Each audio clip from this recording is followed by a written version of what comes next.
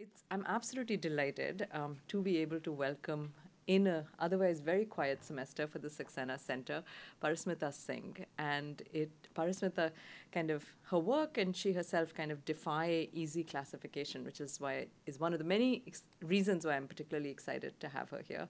She's a writer, she's an artist, an editor, and she has published across different forms: uh, graphic novels, uh, comics, as uh, as you as the kind of title for today suggests. One of my favorites is the one that's up here right now, uh, The Hotel at the End of the World in 2009, a book ostensibly for children, but really all of us are children, um, Mara and, and the Clay Cows in 2015. Peace Has Come, a beautiful collection of short stories, uh, really incredible. I strongly recommend it for those of you who haven't seen it uh, in 2018. And the anthology centerpiece, which is new writing and art from Northeast India. All of these books, uh, if you kind of wander out are on the table outside. So please feel free to just stop and take a look. And most of them, but not all, are available in the US. Uh, she also has a piece in a beautiful book that's also outside, which also has a piece by one of our professors, Holly Shaffer, um, and it's called Old Stacks, New Leaves, and is a really beautiful publication. And so Parismita comes to us today via UPenn, where this publication was launched. She's also the author of the NRC Sketchbook, which is a graphic reportage series and available online at the Huffington Post, and also has some really tremendously interesting blogs about fashion for those of you who haven't seen it uh, in the Voice of Fashion. And her current projects include a grassroots community art project that produces children's book uh, for Pratham Education Foundation, which many of you might be aware of, and a graphic novel on the decolonization of museums. And I am just excited in to, to welcome you all to what is the first of a series of events that Parismita will be involved with in the course of a week-long residency. And so we have today, on Thursday, we have the launch of a zine in the RISD Library. Uh, we also have Parismita joining Holly Shaffer's class on contemporary art in South Asia. And, you know, she'll also have an office in the Center for Contemporary South Asia for those of you who want to engage one on one. But I am just really beyond delighted to introduce Parismita Singh uh, into our milieu at Brown. So Parismita, I'm gonna welcome you, clap, and then maybe I'll let you come here so you can, we can just kind of go around the room and introduce ourselves. Um, and I'll say that you know we'll begin. Uh, Bhrigupati Singh, who is at Ashoka University, many of you might know in the anthropology department, and also here at the Carney Center for Brain Sciences, will lead us off with some questions, and we'll kind of have an open Q and A, and then Parismita will lead us into the workshop. You guys should all have you know supplies, and there'll be more. Okay, so Paras, why don't you join us here?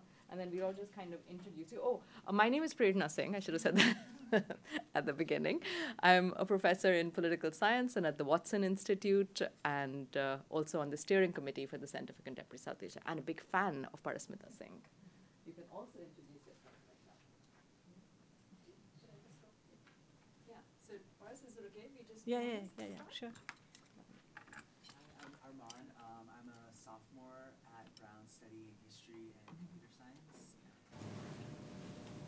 Hi, I'm Faiza. I'm a senior at Brown studying South Asia Studies.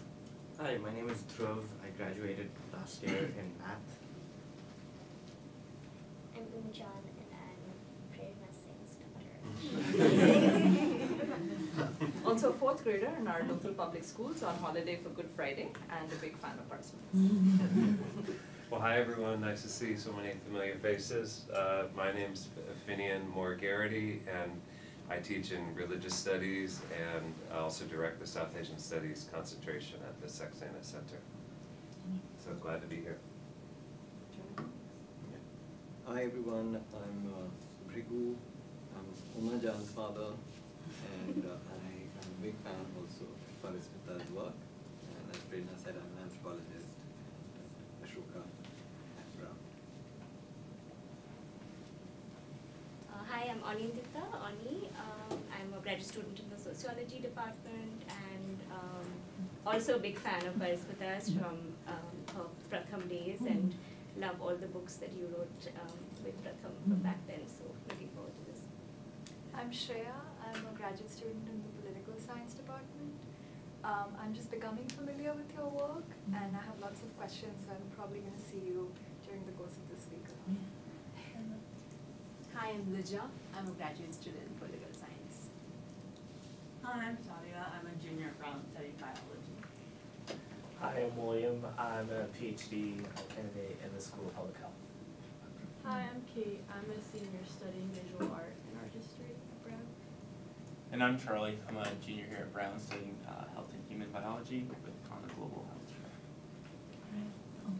track. Right. Um, thank you, everyone. Um, thank you for um, uh, the very generous introduction. And, um, and thank you all for stepping in on a holiday. And um, I'm very, very privileged and honored to be here and to uh, share my work. Um, I'm also, I mean, and I like that we've all introduced ourselves and we are a smaller group. And uh, so I'm also really hoping that we'll be able to. So I'm going to speak, I'm going to try and speak very briefly about my work so we have a little more time for conversation because I think it's such a, um, it, it's really nice to have a, a, group and I think it's nice to have questions. It's also um, because that way I, I get to hear your voices as well and what, you, uh, what you're thinking and about some of the issues that I'm going to be speaking about. Um, and, and yes, and I'm looking forward to the workshop as well. Uh, please don't feel intimidated about like, you know, uh, you're all doing scholarly work, but uh, it, it's sometimes uh, fun to have, uh, it's, it's great to have some fun with uh, materials, right? So with that, I'm going to start with my presentations. Uh, yes, so uh, the title of my presentation, as you have noticed, is somewhat sensational, uh, right? Crisis comics. But uh, of course, we appreciate good uh, marketing strategies. And um, but I, it's also an interesting term because I think uh, because because we are, I think we all have the sense of so many things happening that are uh, outside our control, whether it's ecological or uh, political. And I really do feel that uh, uh, uh there is a sense of, I mean, of course, there, I mean, one can always argue that, you know, especially India, of which uh, where my work is located, situated, it often feels like a series of crises, right? But, but yes, I, I, think, but definitely it is a term that defines my work somewhat and uh, some of what that, I'm going to be speaking about, right? And um, and um, so um, I'd also like to begin by uh, uh, briefly turning to the question of location. Right, uh, location is a very interesting ca uh, category in art production. Uh, because you know where you choose to uh, position yourself, whether you're close to the center, a little further away. Uh, sometimes it determines the grounds on which exclusion is built. Uh, sometimes it's also a space of uh, resistance to not be too close to the center. Is also sometimes you know gives you a little more ground for resistance and rebellion and uh, and also um, and uh, this is also a, a, term that I'm going to use to somewhat place my uh, work. Yes, uh, it's always a little bit awkward for the writer or the artist to be speaking about you know your own work. So I'm going to try and just see it in relation to other uh, things that are happening and uh, you know some of the some of the events and crises, if we may, that have shaped the work as it is and have shaped and are and continue to shape the various dilemmas and questions that uh, uh, that that have shaped my process and that I have to uh, that I'm still struggling with. Yes, so um, sorry. Yes, this is the page. Um, so the region I come from and uh, the, the, the term that uh, it, it is, uh, I'm using, I use this term Northeast India. Some of my books use it too. But I would so, so uh, you know, so, so really speak about the question of location. Um, it is a term that I want us to pay a little bit of attention to and to think about a little bit because, uh, because with a lot of, like a lot of other terms, it is a term with a colonial provenance, um, right? In the sense that it is, it actually, it means nothing. You know, the Northeast isn't even a geographical uh, uh indicator in some sense.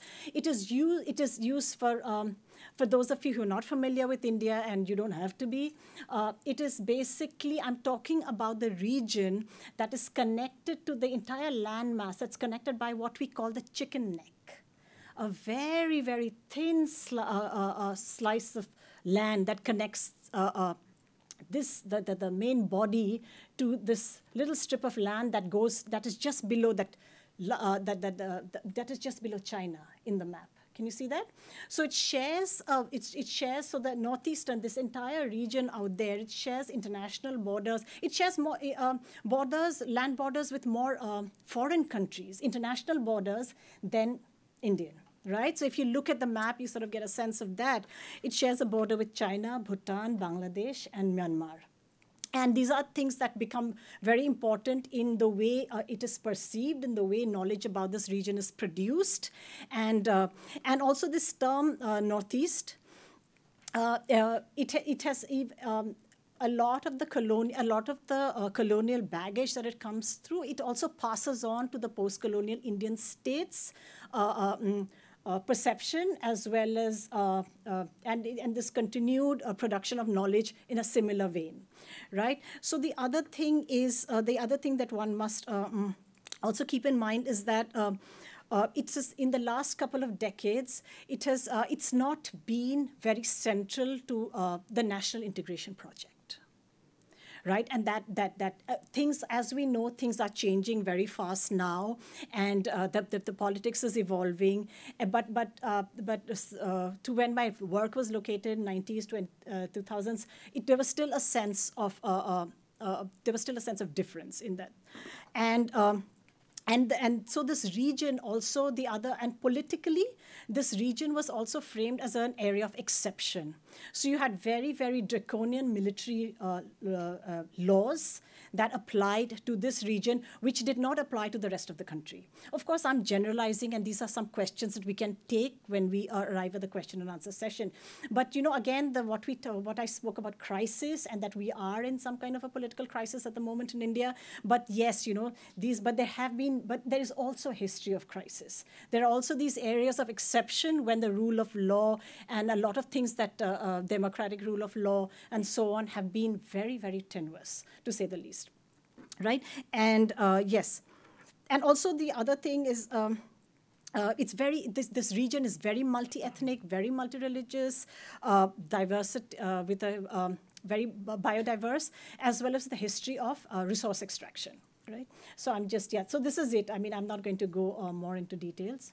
Yes, it's also very interesting for me to speak about my nonfiction work because most of my uh, because primarily I've been working with fiction right? And these are really questions we can sort of uh, come back to later about what the differences what the implications of someone who has worked with fiction most of their life and you know so that the move to nonfiction and how that you know affects your uh, body of work and so on. So yes so the so one of my uh, primary uh, books was hotel at the end of the world which was a graphic novel in, uh, that i uh, published in 2009 and um, and, and, and really and, and in its, and in some sense there wasn't um, so the, the book, a lot of the stories of this book is set in the Northeast or from that region. And the book really rose out of a, a particular time when uh, we didn't have that much in popular culture about the region. So a lot of it did involve primary, you know, uh, uh, a lot of the I, I, really had to sort of travel and get stories. So so there is some uh, you know there is a core of this that com- that comes into the nonfiction work later.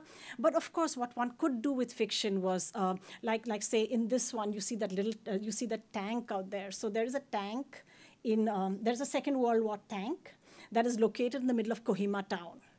It's just sitting there and you know, and in Indian history textbooks and uh, in the school curriculum, you don't read about this, right? And all of this sort of comes to play now in the kind of political debates that's going on. But it is there, you know. You don't read about the involvement of the of this particular region in Second World War and so on.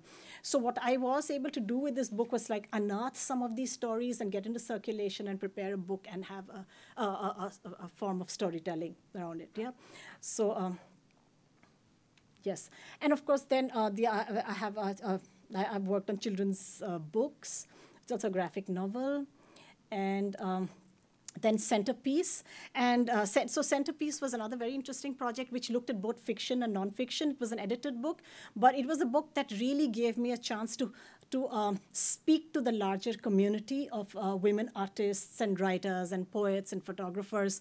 So if you have a chance, there's a display copy out there, so you can flip through it just to have a sense of um, um, of how um, I, where, where, you try to tell the story of a region and. Uh, um, through a variety of voices.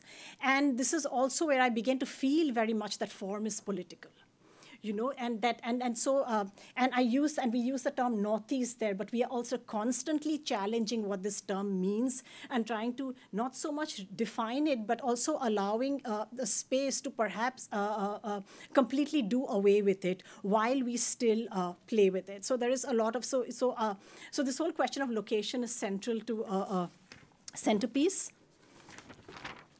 And uh, so I'm just going to read out these uh, uh, a couple of lines from the introduction to Centerpiece to give you a sense of again to go back to the question of location and how it uh, uh, and how it's something that's constantly um, something that I'm grappling with constantly in my work. Right. So uh, what if we were to attempt the telling of this story through a variety of means, through poetry and portraits and essays, older traditions like textile art and new home cooked genres like hashtag poetry tapped into a smartphone.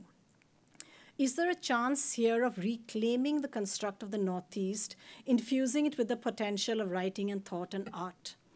Because writing and art, while we are mindful of location and categories, also has the capacity to resist uh, state and national borders, right? So um, so it's really a question of when you're in it, you're in this uh, uh, uh, situation, you're in these categories, but how do you work around them and you know build them up as spaces of resistance, right?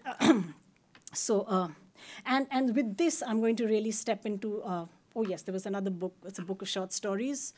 Um, um, it, it would have been a nicer jump to go from centerpiece to my nonfiction work, but yes, I also did a book of short stories, which I can speak about later in the question and answer session. If we, um, yes, right.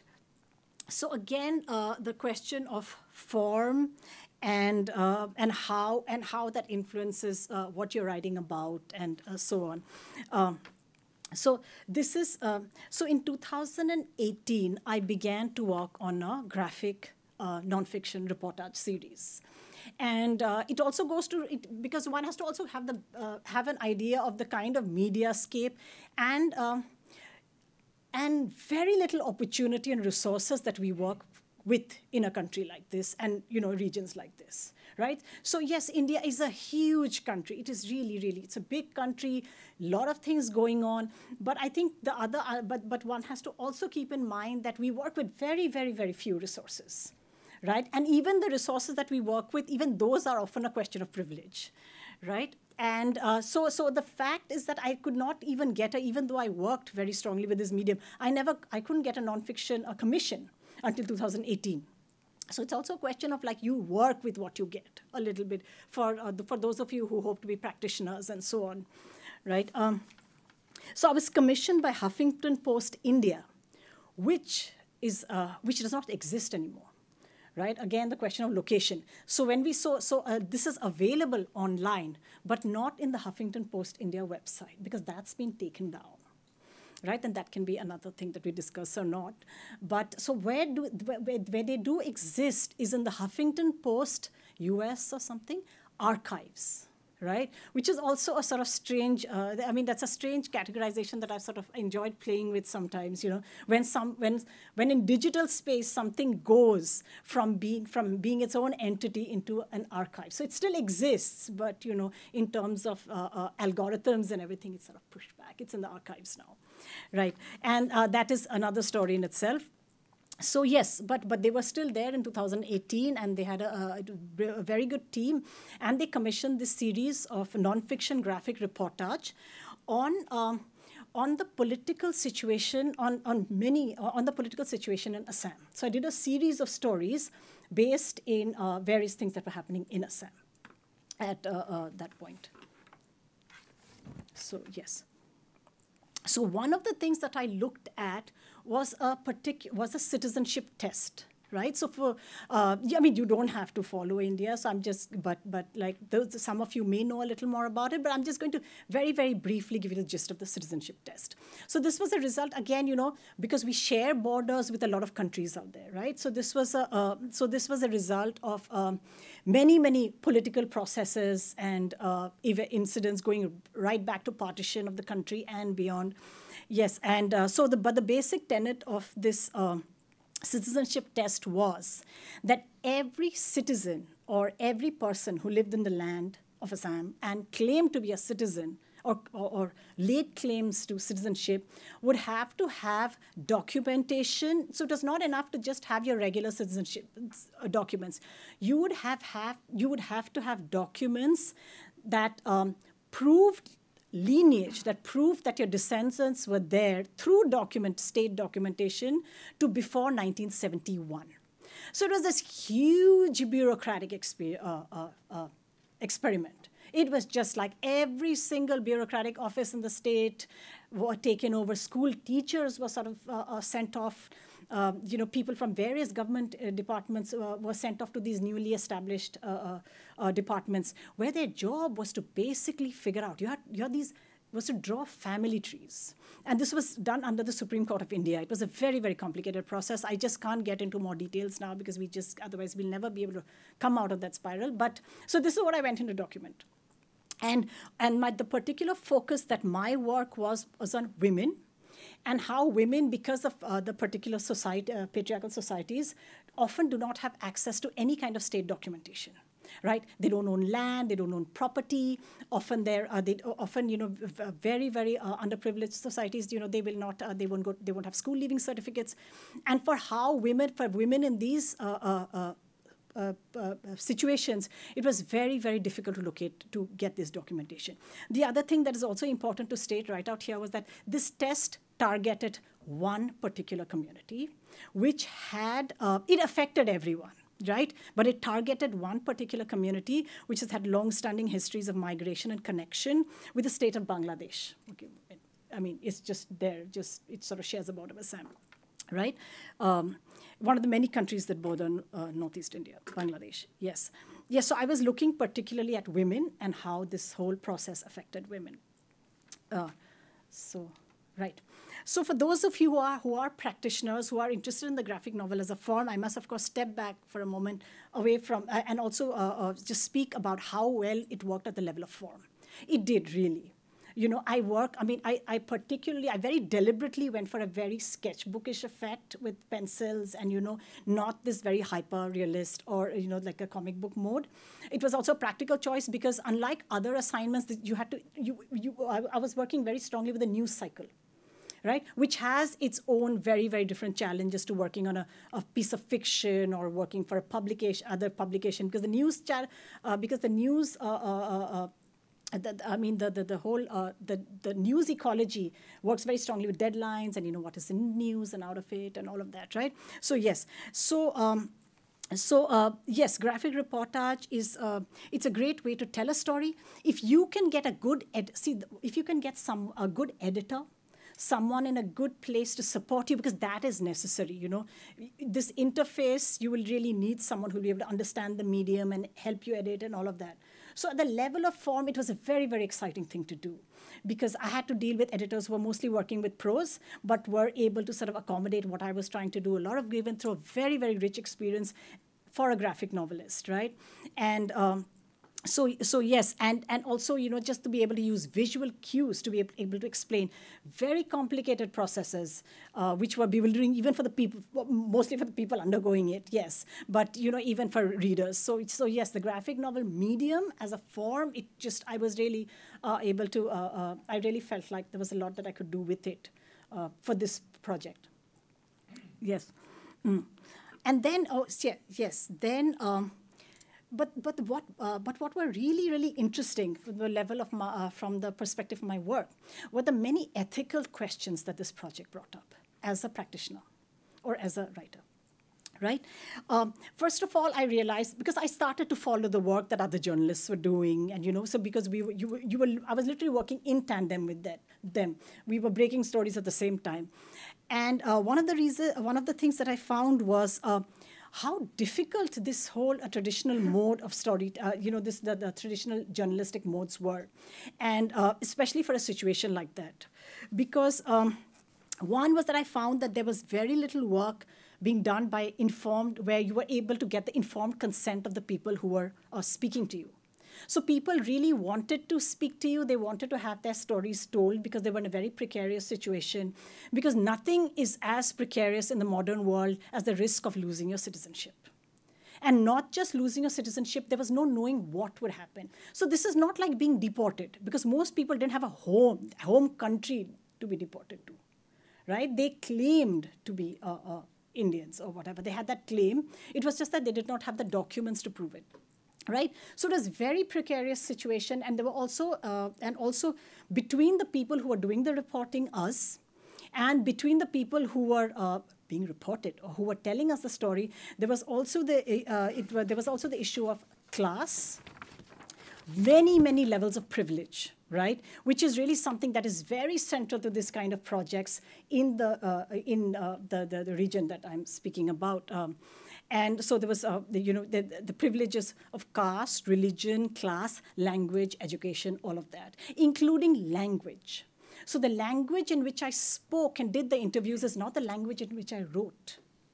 Okay, so here I should also step back and say the digital, but the other great thing was that this was a digital uh, publication right? So, but there was a, uh, but there, was, but that was nice because with the digital publication, once I had the first story, I was really able to show people the work I was doing. Unlike, say, a publication or a book where you have to tell them something is going to come in the future. And this, there was that, there was that immediacy that I was able to just, you know, and everyone was able to sort of do a search, and so there was that accessibility that you know uh, that I was able to share with the people I was speaking to. But then again, you know, that was just one part of the story. There were all these other layers, and it was just not me, it was all the other journalists as well. And, um, and, and, and, and, I, and, and in some ways, I really felt that, again, to go back to the question of location, to go back to the idea of the Northeast being a colonial uh, uh, uh trope, uh, a colonial term. Because, you know, the photographs, because the other thing that they wanted were photographs because for a news piece to carry the conviction to for the you know the the to to the, the, the, the there were these demands for photographs in a lot of the other publications okay? And it felt very much like we were just repeating the old thing of these you know people placed against these with or you know with or without consent being placed against their homesteads or whatever and being like photographed and then to have no control whatsoever with the circulation of these images. And uh, so these were so, so these were really issues that I started to grapple with. And in some sense, um, of course, um, I felt that sketching you know, it became a more, um, it was, it became, in, in some sense, or maybe this was just my own self-explication, but it felt a more humane way to go about this. It was more interactive. It was, it, I felt like it really did create a space where I was able to uh, have some kind of exchange, uh, some more, I mean, where, where the, the space was not perhaps as harsh and as, uh, uh and as terrible as as you know normal sort of you know this very documentary mode of photographing and, uh, and so of, of the news cycle. Yes um, and there's a lot of curiosity and you know i think some amount of engagement i was able to uh, think. Yes and the other question yes yeah, but there was still a lot of questions. For instance, the whole thing of like, this was a story that people really wanted. The people who were suffering wanted the story to be told, wanted it to go outside, because there, there is a lot of hope for nonfiction to bring about justice. There is a hope. When people tell you the story, often they do it with the hope that something, someone in power somewhere will hear this. And this is, and I would be constantly reiterating that, you know, look, this is just going to be a piece somewhere. But it was there, and it was something that you know I, you have to accept as a part of the whole uh, uh, uh, uh promise of you being there and trying to listen to someone's story. Yeah. So, uh, so the, but but there were a lot of, and this was a larger debate. It was just not me among all the debates. And what do you do? So, say for instance, a scene in a hospital, you know, with with with these women being distraught. You know, there'd be these accidents because people were rushing off to get these documents, and people didn't care if like their loved one was like severely injured. They would be worried about the documents. Like, oh, you know, they had that packet of documents because, and it was these uh, situations that you really uh, uh, were very very uh, uh, were very important to document. But at the same time, you had questions of uh, uh, um, uh, women of certain communities who who would who would otherwise not be photographed, you know, who would really resist a photograph. So do you do that? Do you sketch them? And is a sketch, you know, eh, okay, a sketch is perhaps not a photograph, but even then, like this, it was very, very murky, very tenuous grounds of this. And these were things that, as you were producing, the questions were happening, and often you didn't have really a, a, an answer in that sense. And then finally, yes, and then, okay, I'll come back to this later. Yes, and finally, uh, but uh, but then as always i just feel like uh, so many i think so many of us do community work. So many of us keep going back to these places to do these stories because i think a lot of the answers come from there. They may not be the perfect answers. And for me uh, the, and for me, uh, uh, what was really, really, really significant was this act of refusal, right? So you can't follow. Uh, it's uh, so what happened. I'm just going to read out these two lines that are there in one of the stories. So this is again, I'm speaking to someone who is who has a government case against her. Like the government has sent her a notice saying that you are not a citizen of this country, but if you still persist on wanting to be a citizen of this country, you must show go to the court and fight a case to say you're a citizen. Right? So this is the situation she's in. And if you're not able to prove that you're a citizen, you basically go to jail. I mean, you know, you're sort of taken away and imprisoned. I mean, this is roughly the, in, in, the background in which I'm interviewing Aklima. She consented to her name being used.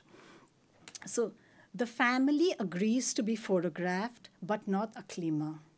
No, not even a sketch, though they are amused to see me take out my sketchbook. So this is where, I mean, this is that, this is that fundamental thing of do not draw me right? And this refusal is, I think, the biggest lesson I took back from my engagement with nonfiction and my engagement with this whole uh, uh, uh, nonfiction process. That, um, that uh, one, it was such a powerful gesture because one, it was a comment on the limits of art, our continued negotiation as artists and writers of what it means to tell somebody else's story, a murkier grounds in fiction, but and also my and also i think i had to still tell her story. So she allowed me to tell her story but she put down her conditions. And i think there i really felt that we were able to arrive somewhere you know and and that um, by respecting and accepting her conditions i felt like more than anything she helped me evolve my craft see the dangers of the story. You know every story does not need to be told. Or you know the the the, the um, yes. And uh, and and uh, the risk of uh, uh, uh, the risk of storytelling as well because we are always celebrating storytellings now you know storytelling and the story now. But what are the risks right? Every story does not need to be told. And um, and and and also it's really um, it also forced me to negotiate and to constantly evolve my craft. And um, and I also found in Aklima's refusal a reflection of my many refusal in my work of fiction, nonfiction, and even the graphic novel. I was able to then, I mean, she showed me how to look at my work anew in that sense, you know, my work with fiction and nonfiction. And I began to say that, yes, this refusal has been a central part of my work too, and should be. I think this is a right that we have as writers, as well as someone telling someone else's story, and as well as someone uh, with the generosity of sharing their story, right? And um, Yes, and that we do not have to follow the conventional forms of production or drawing or telling just because they're the dominant frames around us. It's, I mean, and I'm not saying, and of course, when I make these claims, I'm not saying that, you know, uh, it's very, um, when, when we do an artist presentation or a work production, uh, presentation, there is a clear narrative we seek to draw. And of course, you are clear that there is no such thing. It is really all these mistakes. It is all these mistakes and errors and stepping back and forth. And, um, um, and yes, so I'm going to um, end by uh, this quote that I like very much, which I completely use out of context of Adorno's, who says that uh, in the end, one cannot make one's home even in one's writing. And I view it as a, a, challenge, as a constant process of building and dismantling and moving again and again, as one does, to renew an aesthetic and ethical uh, commitment to one's practice. Right. Okay, thank you. Can I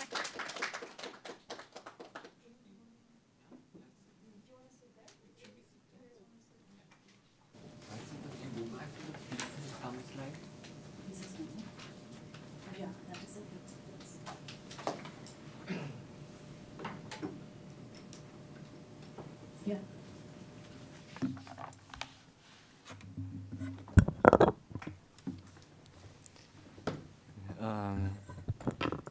good afternoon, everyone, and really nice to be here. And thank you, Prerna, for inviting me to begin the discussion.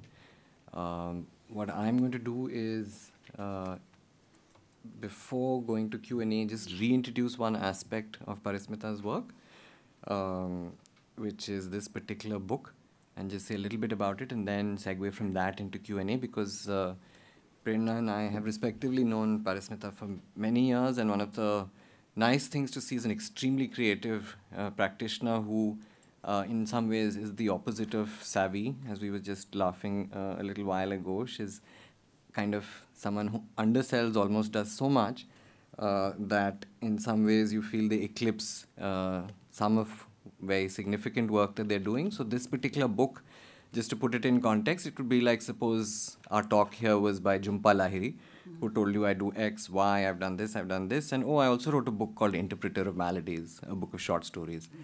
Uh, so this book, I would say that even if Parismita had done uh, um, just this book, is, I, I would say, a major achievement of contemporary fiction.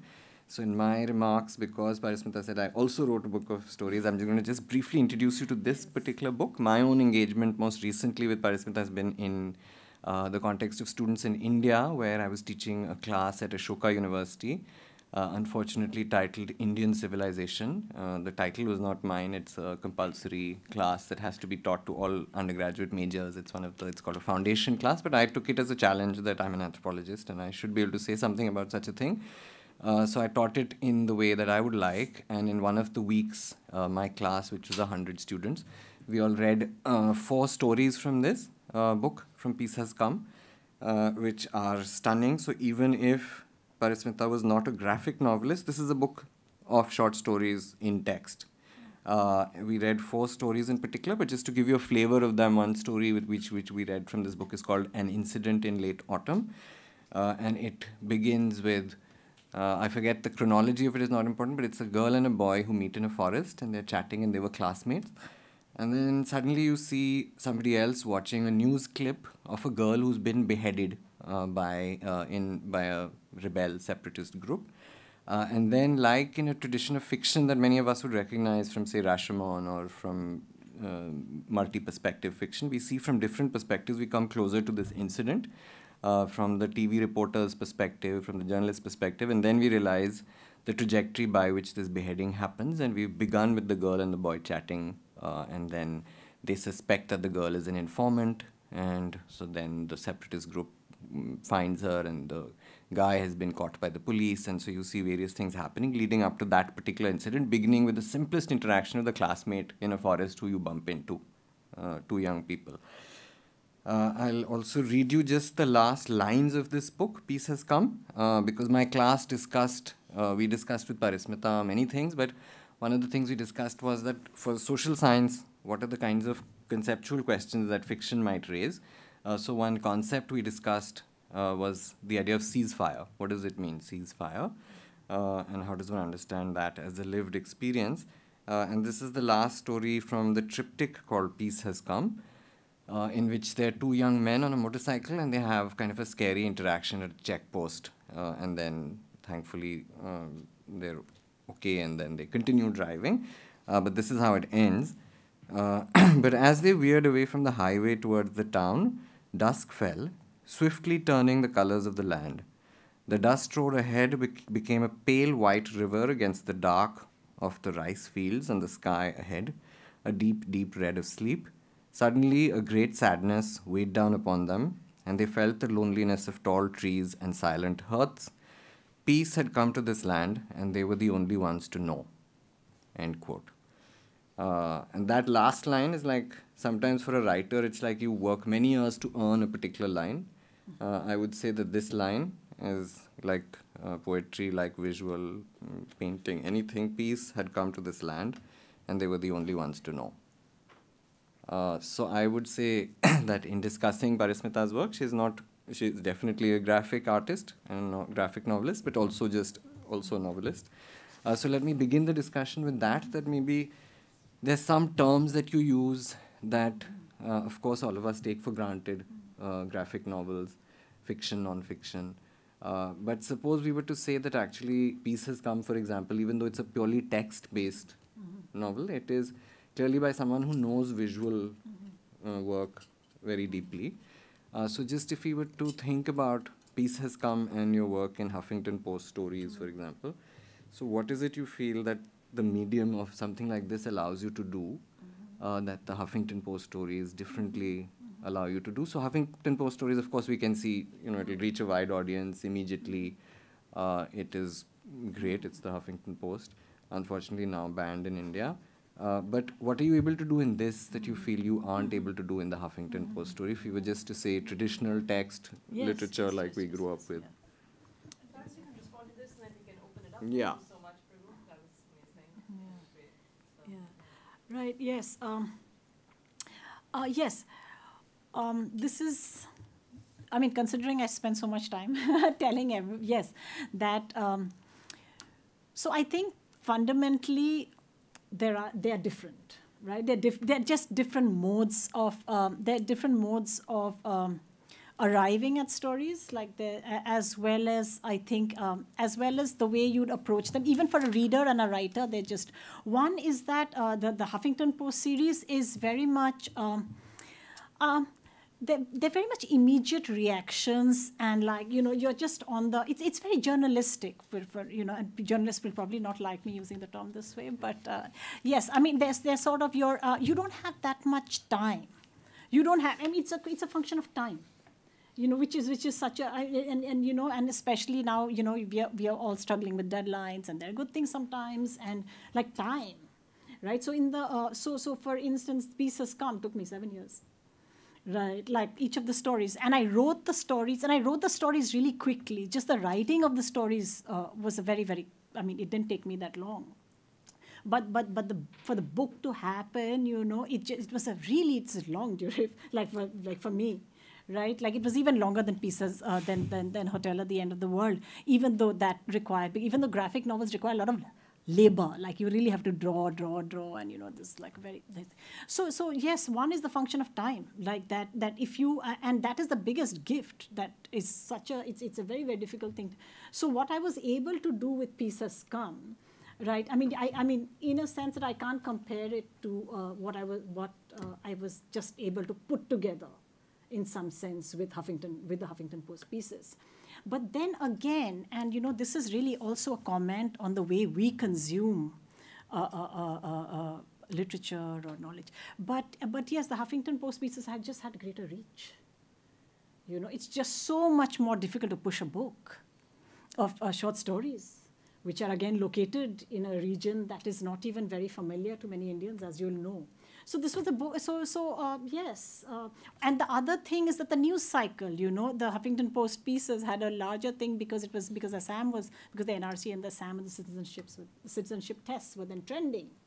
Mm. Right. So yes. So both of these function with very very different dynamics of like uh, uh, outside dynamics. And and yes, for me, all I mean, you know, I, I think what you're able to do with prose, what you're able to do with a, a piece of fiction or non-fiction or something that you're able to take time over that that sometimes that almost I would I, I, would almost say that where you can allow for the stories to come to you. Yes, that is a big difference.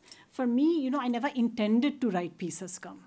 Because in terms of in terms of career arc, though it's completely like it was a very, very it was not a necessary thing to do because for a graphic novelist to then write a book of short stories, you know, none of this makes sense in the in the commercial, and we also have to exist in that zone. It just didn't make any sense.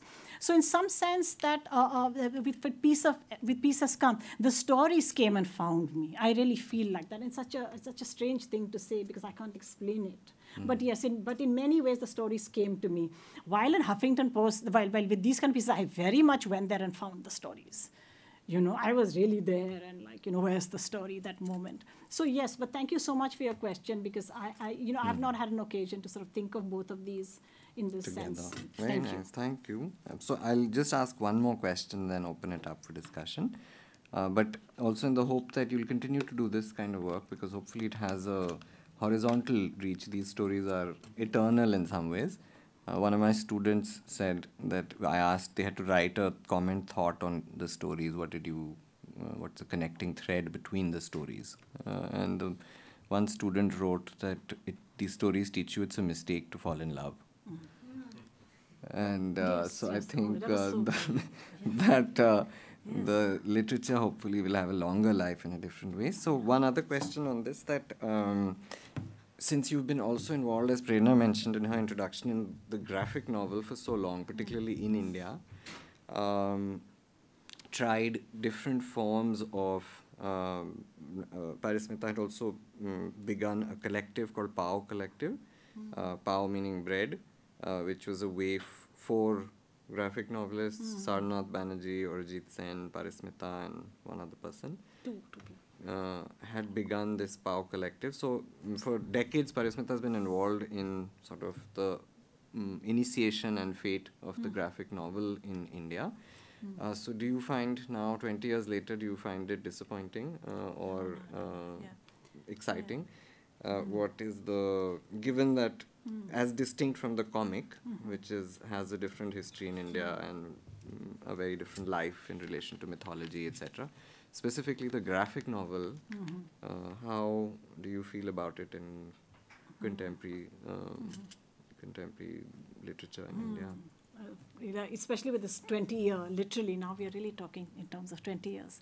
Yes, yes. No, for, first of all, I, I see, I've never, I, I don't make a distinction between graphic novels and comics, but I do sense what, but the, the distinction you make in, in terms of mass produced uh, comics as well as like more uh, perhaps.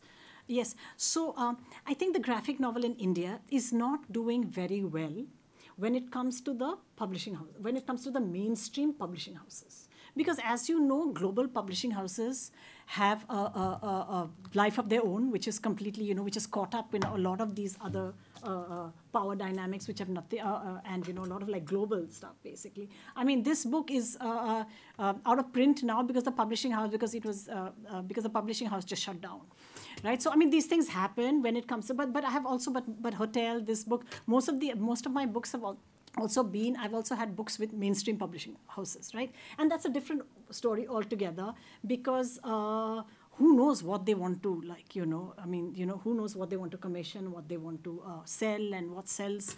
Uh, it's it's a very very uh, gray and murky area. But then again but i but uh, but um, digital media social media graphic novels are actually doing very very well in that right? So in fact uh, i'm not doing that much work but uh, that's uh, but but but generally um, a lot of graphic novelists have actually turned very very political in the last 10 years. Even people who otherwise were very sort of you know were more uh, were engaging with history and were engaging with fantasy and all of that have turned very political in the last i mean there's a whole lot of them who have right? So uh, uh, and, and and and they may not be getting they may not be getting very big publishing deals right? And so you may not uh, they may not uh, uh, perhaps they may not have the kind of renown you would expect if everything were to be going well but they're doing a lot of good work i see that with younger people with, with aspiring graphic novelists independent graphic novelists i think social media is working very well for that where you're able to sort of you know serialize things and you're able to use it as commentary on political uh, events. And and that is also the way form is right? Like it, it evolves politically it evolves with with the uh, with the times you know it evolves. So so digital media has been a great boon for uh, graphic novels. I haven't been particularly i mean for a variety of reasons been able to use it uh, uh, uh, but uh, but yes uh, so I, I i don't so things have the situ- things have changed. Hmm. and uh, and there is and censorship is an issue in india today right? And as a graphic novelist uh, i mean you know it is it is really an important it's an impo- it's an important factor in the way art is going to be produced now in the future there or contemporary art right? And so um, and and yes so social media digital which are also easy to police. So it, it's it's really it's becoming but but it is an interesting scene. Yeah thank you. No, that's a nice uh, note to segue to audience questions and uh, just i mean i from that all i can feel is some sense of dismay at how things trend or not because karan i was just saying that if anything ought to be trending in recent indian fiction it is this book. Um, and so i certainly hope uh, that it won't be out of print five years from now uh, so let us turn to the audience and open it up for questions. And how do you want to divide up, Prerna, the evening? Or? suggest is uh, how do you feel, Pars? Like, how, like, you know, I, I was thinking let's collect some questions Yeah, sure. And then Yeah. maybe if you could kind of guide us through the workshop component of Yeah, this. at but I'd be happy. But you know, I think the sense I'm getting is also that if people have questions, I'm happy to have a conversation. So we should. I mean, I wouldn't stress that much about the time. You know, we just if there are questions. Yeah, yeah, yeah. Yeah, yeah. What, what, what? So would you like to transition to the workshop in? So we Yeah. can't engage in false. Yeah. No, but let's let's collect. Yeah, questions. I have yes, a few as yes. well, but I'd love to kind of hear other voices, and then you know we'll kind of pivot back. So yeah, we all introduced ourselves. For those of you who came late, um, you know, maybe if you just wanted to tell us who you are, and then yeah. Hi, um, my name is Viraj Matani. I'm an artist. Um, I go to RISD and co-enroll at Brown, uh, and I'm a grad student. I do a lot of painting, printmaking. Um, my work sort of like touches on a lot of uh, some of this stuff that Mhm. you also work with. Like Mhm. I have a graphics background too, so I'm really interested in this space of like different mediums and again like how Mhm. um, we, we can make them more accessible in India. Oh, I, I already, oh, Oh, I'm did you doing it introduce again. yourself? no, I've already done it. Oh, sorry, I missed it. That's great. Hi, I'm Meher Sandhu. I'm just an undergrad at Brown. Just, Just one. no, this was such a water.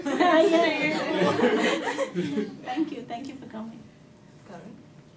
Hi, I'm Karan Mahajan. Uh, I'm, uh, I teach at Brown and I also write fiction. It's wonderful to have you here. Thank you for coming. I I'm the sorry just. Are you wearing a bandgala? Yeah, yeah, I'm trying to fit in. Oh.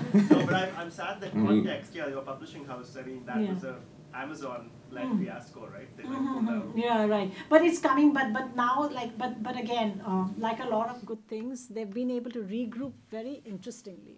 The publishing house. So should I? Yeah.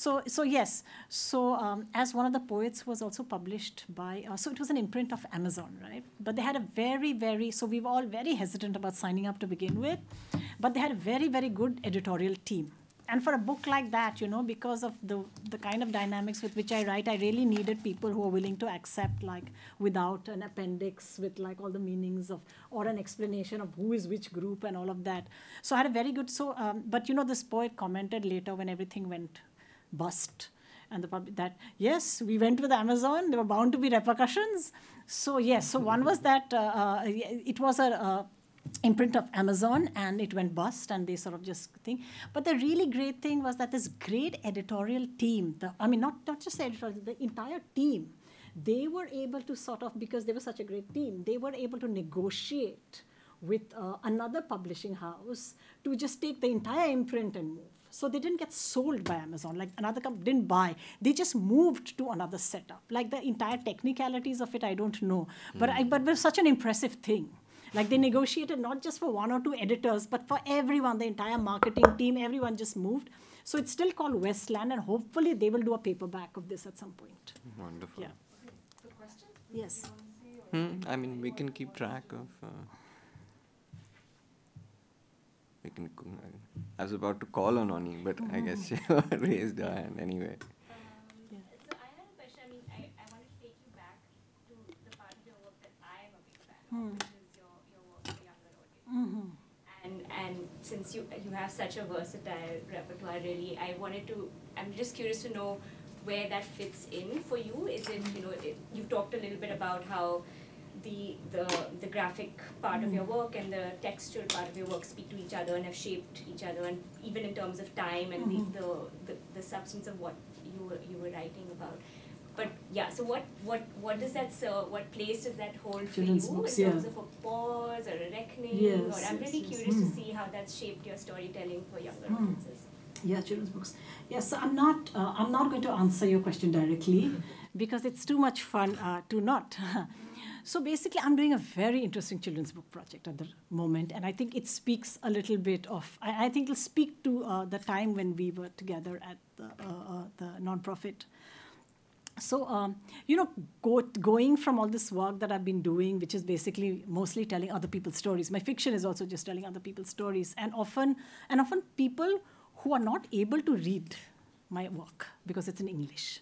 So, for instance, Peace Has Come works with many, many languages in this thing, but none of them are English, and the book is written in English. So, you know, at some point, you know, all of this really, I think, it's just, just uh, these are this uh, a very, very sort of interesting thing in the background.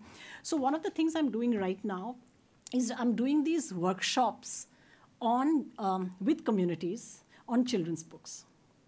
So what I'm doing is I'm going to these uh, space, uh, I, you know, so I'm work, uh, going to rural areas or uh, uh, uh, places where there isn't, where there aren't too many children's books, because children's books projects to be supported, to be successful, are often state supported. You know, especially for countries like us, like Russian books, and so on. Or you need like a non-profit Pratham Books, like to be to be able to have books in countries like India which are accessible and well priced you know where it's not going to be where it's not going to cost you your month's ration right i mean real children's books for everyone so, uh, so I'm working with this nonprofit to work with the community. So I'm trying to get. So the other thing that's happening is also a lot of the time the children's books you get, very wonderful ones in India, are off. But but you know there are all these questions of class and caste and who gets to tell these stories, who gets to go to design school, who gets to write these stories, all of that. So, uh, so what I'm doing now is I'm going into these communities and I'm working with people who already work with the arts, like say they're carpenters or weavers and so on. And I'm trying to workshop children's stories with them. And that's been a really, really fun as well as rewarding experience. Like I think both, even for my practice, and I see this very much, and I'm going there very much as a part, and I'm seeing this very much as a part of my practice. And that's really been so. Yes, I've continued to work with children's books, but perhaps in a slightly different, like just with this, yeah. So thank you for that question. Yes. Um, I have a question about your like nonfiction work that mm. you, you were showing with that Huffington Post, and you, you had one comment of like not every story needs to be told, mm. which I thought was really powerful. Mm. And so, as an artist, and you know, both in kind of writing, but then also in drawing as well, um, and then as the kind of putting on like a journalistic hat as well, like how do you choose which stories are mm. told, specifically in the moment, right? With mm, news, mm. those stories could have you know big impacts, and that might be an important story. So how do you make that decision um, in kind of that calculus? Yes. So you know uh, what I found very useful in dealing, and I and I you know I don't even think I get it right most of the time, right? I may probably I may think that I'm doing a story for all the right reasons, and who knows, right? Like with all the afterlives of stories and and obviously with my whole you know with a lifetime of dealing with the stories i do not underestimate the power of stories both ways. It's risks as well as because you can and i you know it is really something one should be openly speaking about because you can really go to jail today for telling a story. It is it is the way it is now right? So and, and also to have a story told about you. So there's also this element of risk. So what i try to foreground now is what um, it's basically feminist ethics of care. I try to foreground that, which is that a story I may feel, because I also have the writer's instinct for a good story, right? I want, like, I see a story, I want to tell it. And I also acknowledge that fiction is very murky for, for in the sense that I, because I'm telling other people's stories, I don't, so what I do is I do a lot of disguising. So you make sure that, you know, that no one can be identified or whatever. But at the end of the day, I am taking someone's story and I live with that, you know, and I suppose maybe I try to compensate by other work, but it is very much a core of the way it works. And I don't really, I think the ethics of that, I don't know. I haven't, I mean, you know, um, it's hard to work that out. But with nonfiction, what I try to foreground is that yes, I may want to tell the story very desperately. I, I, mean, I may feel very strongly about the story. I may even want, and I use the word des, you know, it is really like that. You know, when there is a story and you need to tell it, there's a connection and immediacy. But I've learned to also step back, that I have to foreground ethics of care that it has to really be about how is the story going to affect this person. And there have been stories like i did i did like oh my god i did six months of work on like foreigners tribunals. And in the end i didn't go through it. On foreigners tribunals. Sorry so basically in assam you have this institution called foreigners tribunals. I mean it's a very uh, i mean there's, a, there's also history behind all of this which unfortunately affect the most marginalized people but there are i mean but you know different communities have different opinions on it. It's a very very complicated situation. But there is something called foreigners tribunals where basically what happens is that you know we have something called a border police force. And uh, they they are able to and they can uh, send you a note. They can sort of send you, they can file a case against you saying that so and so is a foreigner, and you'll get this documentation. And then you have to take this, and then there'll be these courts where you have to go and fight your case to say that no, I am not a foreigner, and he's, these are my documents. And, and then you have to hire a lawyer. It's like a proper, it's like, it's like a, uh, you know, uh, um, it's not directly, it's, it's, it's a quasi, like it's a, it's a sort of strange space, but they're courts, right? So that's what, uh, uh, so, so I did six months of work on foreigners tribunals, and I didn't do a single story out of that. Because, I mean, you know, I was really not sure of like, you know, how that was, uh, uh, of whether I was going to be able to protect all the people I was writing about, even functionaries, right? Who I, or even the, or even the way I was able to access a lot of this. Because I also, because many of us also use certain forms of privilege to be able to access some of these, right? And, and it didn't, and that was a story I didn't work on. So there are also, actually all my life I've been conscious of that some of the best stories are those I will never write. Right, and and and and this is also a reaction to this uh, to the to the kind of political environment we live in. I think. So thank you for that question. Right. Yeah. There's one. I think. Or Rizdi person on the question. Um, I had one, maybe you answered it, but it was kind of like the flip question of what he asked about, like, but I'm interested in, like, fiction and mythology. Like, how much of that, like, I know you draw from, like, real Hmm. incidences and, like, people that you know and, like, stories around you, but what is the guide act when you're, like, creating? Like, do you want to always, um, like, does it always have to be, like, a learning curve for, like, the readers that are reading your book, or, like, is it something that just out of your pure creativity, like what's the balance between the two? Like do you create stuff only Mhm. for like your own pleasure or like there always has to be a bigger Yes, guide yes, yes, yes, yeah. Can I add Yeah. on to both a question Yeah, that's actually related to both William and Viraj's Mm, question, mm, which mm. is, you know, the question is w- which stories do you choose to tell and Mm. not to tell, and then, Mm, you know, to mm. what extent i- Mhm. is it like you know, share someone else's story versus yours? And I guess because you're such a shapeshifter and such a Mm. kind of competent and amazing and Mm. unorthodox shapeshifter, I've always wondered, like, you know, of course, in certain cases, Mm. it's graphic Mm. reportage, that's what it is, it's definition, it's commissioned. But in other cases, you know, how do you, how do you, do you kind of have an ex ante sense of what form it's going to take? Mm. Or is it that it kind of shifts? I mean, have you had an Mm. experience which something began as a kind of graphic and then took over text? Or I'm just kind of curious, you know, just how your mind kind of Mhm. processes this question of not just what questions you're asking, how Mm. much, how you're engaging with it, but also that form. And, and whether that, you know, whether what we see is the original form in which you Mm. thought, or, yeah, I mean, I Mm. don't know, I have grad students in the room, but I can only think like visually in terms of boxes and things, so when there's Mhm. narrative, it has to follow from that, so I'm just kind of curious, Mhm. um, you know, how that works for you. Yeah. Yes, so the prose, yeah, so I'll just sort of go through this too, yes. So the prose took me by surprise. Like I was, I mean, you know, I had not written prose in years and years. I began, I think I began writing prose as one does, but I had just not written prose for years and years and years. And then, and of course, behind the prose, there was one failed graphic novel, one failed children's graphic novel, where I did 100 pages of like black and white work, and then somehow, somehow it just like and and but so yeah so so much of it is yes this whole question of you know so much of it is is i think we are all so much of it is the politics around us the uh, you know of the publishing. So for instance i was i worked and so much and some of it maybe is our own like i don't know our own conscious or unconscious reactions to that and our and our um, some of it is maybe just coping mechanisms. You know maybe you change maybe you change form to also just cope. Because what happened with this graphic novel is that it was really fun. I had this really good deal with uh, with a tamil newspaper now you know for us like to be able to get a serialization in newspaper in, in a local language it's a huge thing for graphic novelists right? Because we are so used to 4000 copies 3000 copies that kind of number. And look at india look at the numbers. So to actually have access to a language to a newspaper oh that is like it's really something that's so i you know so i had this deal with the tamil newspaper. And and, and they wanted like 10 pages of comics. And it was a children's newspaper and it was working so well until the proprietor, I think, got his, until the guy who owned the newspaper, I think, got hold of a copy.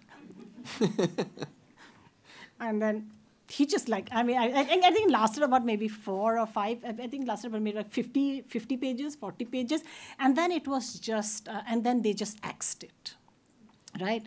Yes, I mean, it, it, these things happen. They axed it, and they, and then, and the only thing they told me was it was too political. so you can, yes, so you can imagine my career in children's books was not uh, particularly successful. So I think that was so hard. And of course, the thing to do is to then get back to the I mean, so what you should do when something like this happens i now know is that the next day you should get back to your desk at exactly because you know doing those kind of serializing you have to sit at your desk some 12 hours was to get back to the desk the next day and sit and do the next page anyway. But i didn't do it. I just couldn't. That book you know i just couldn't like that book never happened after that i wrote the prose. So now i've never thought of it. I've never thought of i've just i've just been like oh this was i've never thought of why i did it. But sometimes i think maybe you know i needed to step back. Maybe i didn't have the energy to do another graphic novel. Who knows? Yes. But to again go back to the question of what is one of course i draw for pleasure. I mean pleasure is why we work isn't it? It has to be there has to be at the core of our at the heart of our work there has to be pleasure. Otherwise I mean, you know, otherwise, what is, I mean, otherwise there's no meaning to it. Right? So I draw for pleasure, I write for pleasure, and that is the biggest privilege of my work. Right? And see, the, yes, but but it's a it's but that it's like it's basically like you know if you're cooking a meal or so oh, i hate it when people give this analogy of cooking a meal but i'm going to do that yes but you know it, it's so many things right so so it is with writing or drawing or telling a story right? There is the pleasure, there is the pain, there is the ethics, and there is the money, and there is the commerce, and you know, there is just all of it. And it is going to have to be a dance between all of this, you know. It isn't, I mean, I think. And of course, there are things that you can, but, but there are also choices, and all of these are choices you make. You can also choose to say, for instance, I've been working on this one series of just drawings, and that I have said is that is just for my pleasure. But you know, even there, at some point.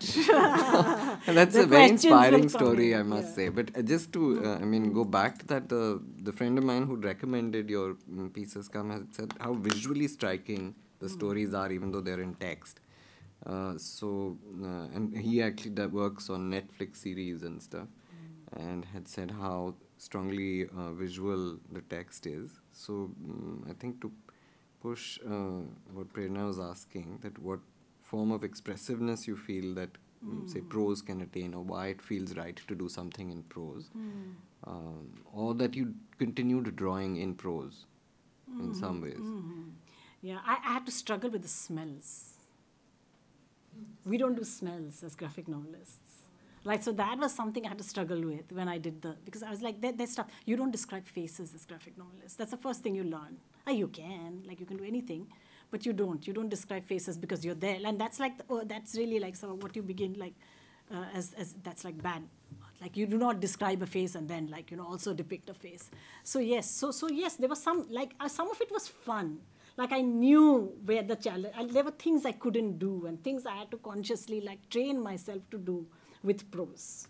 So it was very much like once you're in it, it was very much like uh, I, I, I, felt the tools. I, I could feel the transition between tools. That was very clear.